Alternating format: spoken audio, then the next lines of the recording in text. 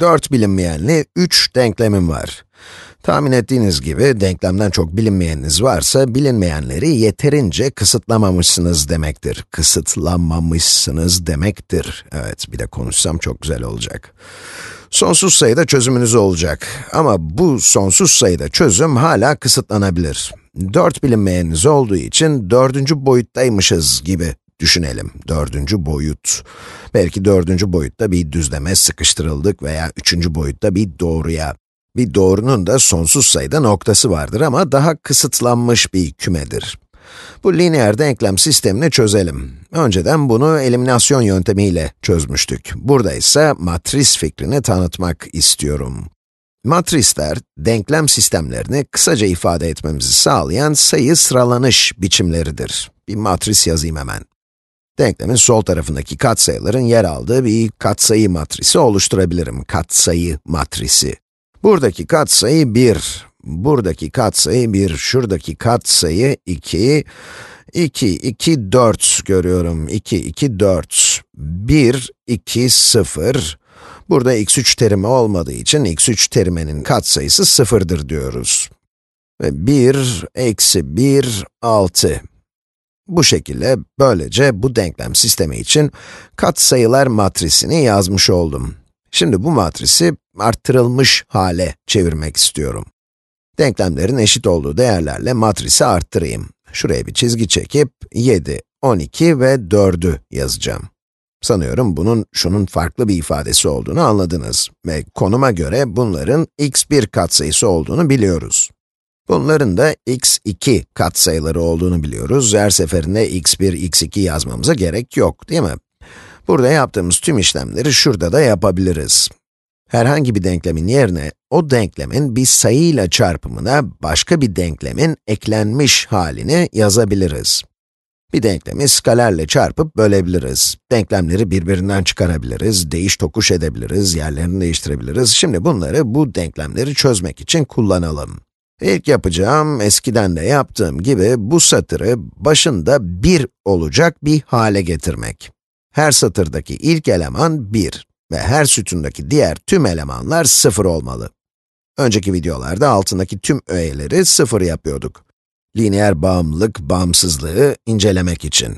Şimdi satırların ilk elemanlarının varsa 1 ve sütundaki diğer tüm elemanların 0 olmasını istiyoruz. Bu şekildeki bir matrise satır indirgenmiş basamak matris denir. Bunu bir yazayım. Satır indirgenmiş basamak matris. Bu artırılmış matrise A dersek, A'nın satır indirgenmiş basamak matrisi halini bulmamız gerekiyor. Matrisler de vektörler gibi koyu renkte ama büyük harfle yazıyoruz. İleride matrislerin vektörlerle bağlantılarını inceleyeceğiz. Şimdi bu denklem sistemini çözelim. Önce bunları sıfır yapmaya çalışalım. Şunu birinci satırın ikinci satırdan farkı ile değiştireyim. İlk satır aynı kalacak. 1, 2, 1, 1. Şuraya 7 gelecek, birinci satırım. Şimdi de ikinci satırı, birinci satır eksi ikinci satır diye değiştireyim. Ne bulurum? 1 eksi 1 eşittir 0. 2 eksi 2 eşittir 0. 1 eksi 2 eşittir eksi 1 ve 1 eksi eksi 1, 2. Yani 1 artı 1 demek değil mi? 2. 7 eksi 12 eşittir eksi 5. Bu satırdaki 2'yi 0 yapmak istiyorum. Bu satırı şu satır eksi 2 çarpı bu satırla değiştirelim şimdi. Bu satır eksi 2 çarpı birinci satır. Bu satırın yerine onu yazacağız. 2 eksi 2 çarpı 1, 2 eksi 2 eşittir 0. İşte bunu yapmaya çalışıyorduk. 4 eksi 2 çarpı 2 eşittir 0. 0 eksi 2 çarpı 1 eşittir eksi 2. 6 eksi 2 çarpı 1 eşittir 6 eksi 2 yani 4. 4 eksi 2 çarpı 7.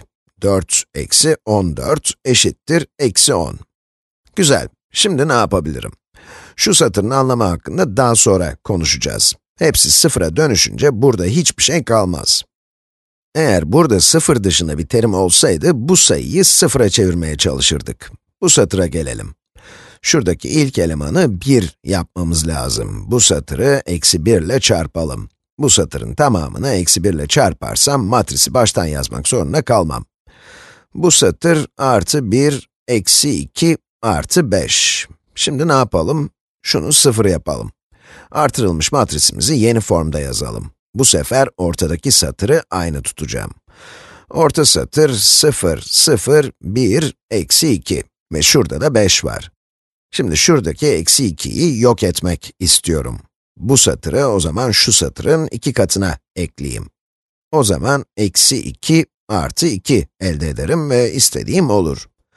Şimdi burada sıfırlar olacak. Sonra eksi 2 artı 2 çarpı 1. Bu 0. 4 artı 2 çarpı eksi 2, 2 çarpı eksi 2 yani 4 eksi 4, bu da 0 eder. Sonra eksi 10 artı 2 çarpı 5, bu da eksi 10 artı 10, yani 0, bu da 0, bu satırda tamamen 0 oldu. Normal eliminasyon yönteminde ilk elemanları 1 yaptığımda iş bitiyordu. Aşağıdakileri de 0 yapıyorduk. Birlerin üstündeki sayıların ne olduğu ile ilgilenmiyorduk. Şimdi onları da 0 yapmam lazım. Bunu da 0 yapacağım. Birinci satırın yerine birinci satır eksi ikinci satırı yazayım. 1 eksi 0, 1'dir. 2 eksi 0, 2, 1 eksi 1, 0.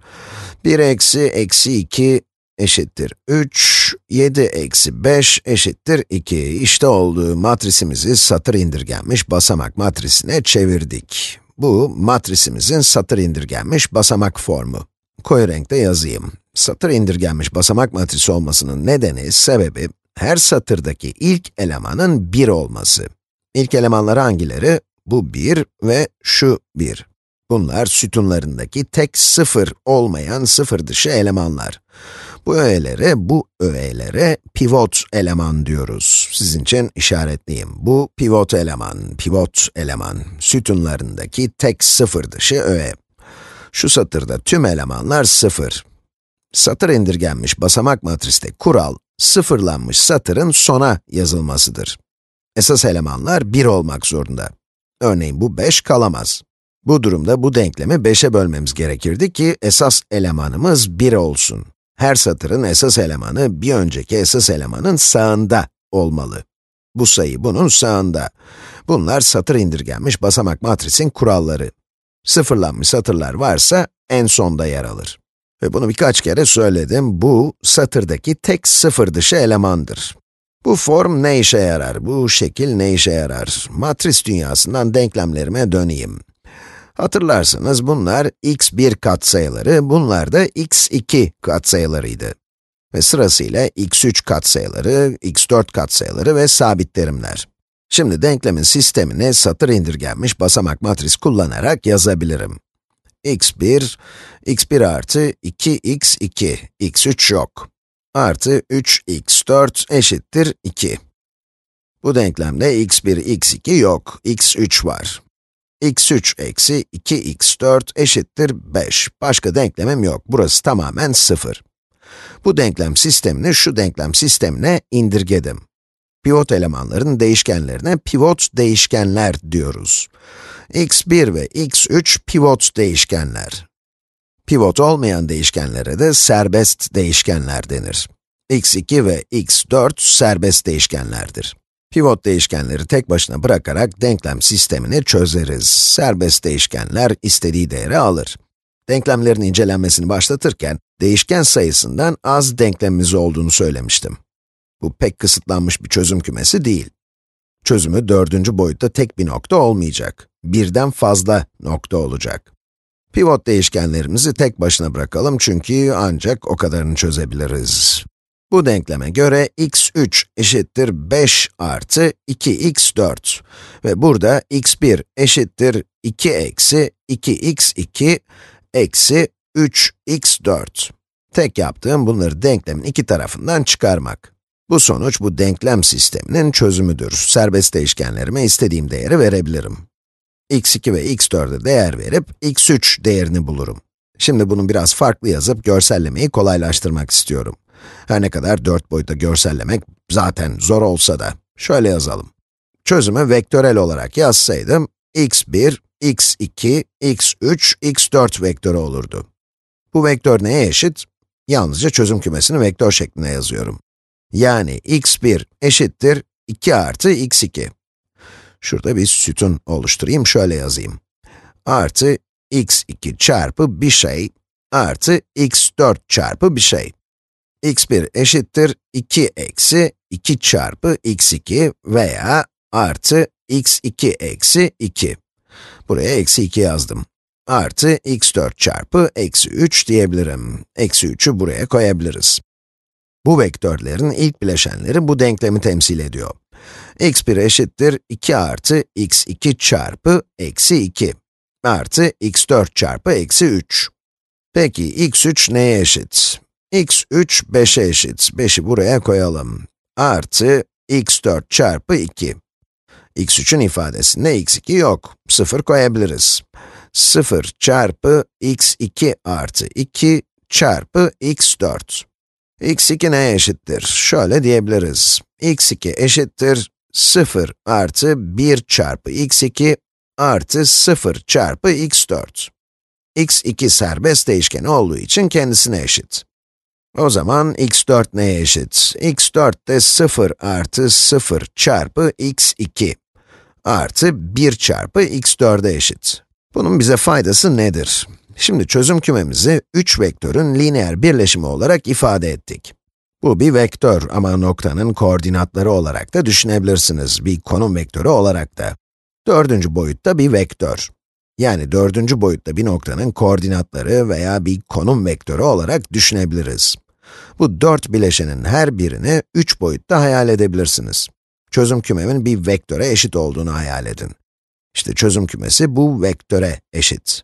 Bu vektörü bir konum vektörü olarak düşünebiliriz dedik kısacası. Bileşenleri de 2, 0, 5, 0 olurdu. 4 boyutlu oldu zaten buradan belli. Şu iki vektörün katlarına eşit. Şu vektöre a diyelim, şuradaki vektöre de b diyelim. Çözüm kümemiz buradaki nokta veya o noktanın konum vektörü. Bu konum vektörünü şöyle gösteriyoruz. Başlangıç noktasında başlıyoruz ve bu iki vektörün katlarını topluyoruz. Bu a vektörü ise, a'yı farklı renkte çizelim. İşte böyle b vektörü de, b vektörü de şöyle çiziliyor. Bu b vektörü, bu da a vektörü. Şimdi bu görselleme ile işi kolaylaştırıyor muyum yoksa zorlaştırıyor muyum bilmiyorum çünkü 4 boyutu 2 boyutlu bir düzlemde çiziyorum. Şunu gözünüzde canlandırın. Çözüm kümesi bu nokta veya konum vektörü artı a ve b'nin lineer birleşimleri. Dördüncü boyutta olduğumuzu unutmayın. Ama a ve b'nin lineer birleşimleri, birleşimleri bize bir düzlem verecek. 2 çarpı a artı 3 çarpı b veya eksi a eksi 100 çarpı b. Bu lineer birleşimlerin tamamı 2, 0, 5, 0 noktasını veya konum vektörünü kapsayan bir düzlem oluşturacak. Bu dört bilinmeyenli 3 denklemin çözüm kümesi dördüncü boyutta bir düzlemdir. Görsellemekte zorlanabilirsiniz, belki ileride 3 boyutlu bir örnekte yaparız. Umarım arttırılmış matrisin ve satır indirgenmiş basamak matrisin ne olduğunu anlamışsınızdır. Denklem sistemini bozmadan bir matrisi uygulayabileceğimiz işlemleri de görmüşsünüzdür.